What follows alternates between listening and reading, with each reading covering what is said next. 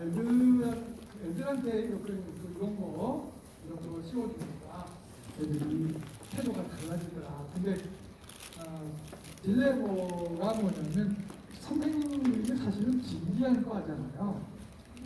그 MBTI 검사를 하면 선생님들이 아이가 많겠어요? 이가 많겠어요? 아이가 압도적으로 많은 거야. 그러니까 이제 선생님들이 이에 좀, 극적인 이해들을 힘들어하지. 그- 근데 어 걔네들한테 자꾸 기가 빨리는 거야. 음, 이명호 씨 준비하느라고 정말 정말 그, 그 경주말처럼 달려와 가지고 뭐안 되지. 근데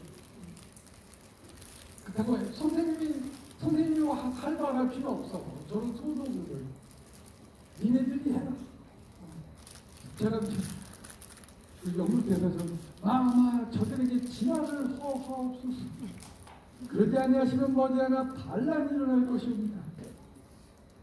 지랄하고 싶어하는 애들이 지랄의 기회를 활발한 움직임의 기회를 주시면 좋겠다. 그런 의미로 그런 상징적인 의미로 상품들을